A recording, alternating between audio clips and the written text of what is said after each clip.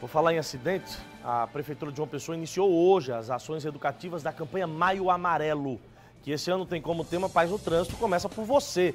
Jaceline Marques, conta mais, Vaso, é contigo. Pois é, Paulo, uma campanha mundial Maio Amarelo que tende aí a humanizar o trânsito e evitar também os acidentes. Quem vai falar conosco é Expedito, que é o superintendente da CEMOB em João Pessoa. Ah, o que significa o Maio Amarelo?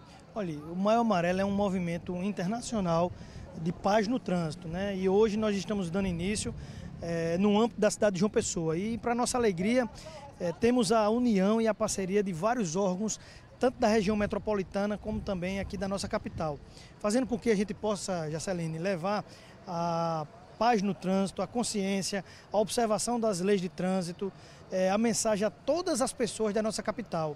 É, o intuito do Mãe Amarelo é que a gente possa ter um trânsito com tranquilidade, com paz, com tolerância, observação da legislação. Então vão ter vários comandos educativos durante todo o ano. A nossa equipe, Jaceline, já trabalha é, na educação do trânsito é, durante todo o ano. Mas no meio amarelo, como é um, um mês emblemático, ela se intensifica. Né?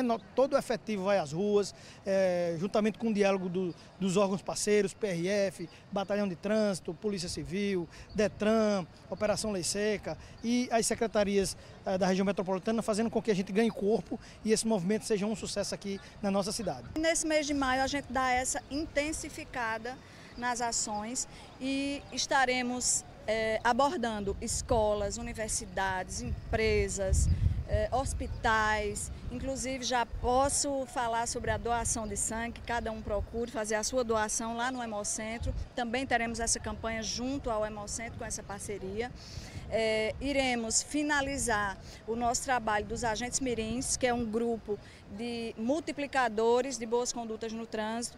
Também teremos um curso para motociclistas e esse ano nós vamos é, fazer diferente, vamos abordar mulheres motociclistas, que são as entregadoras, né?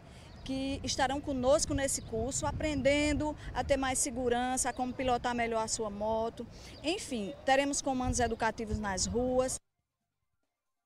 A maior parte dos acidentes é provocado por imprudência.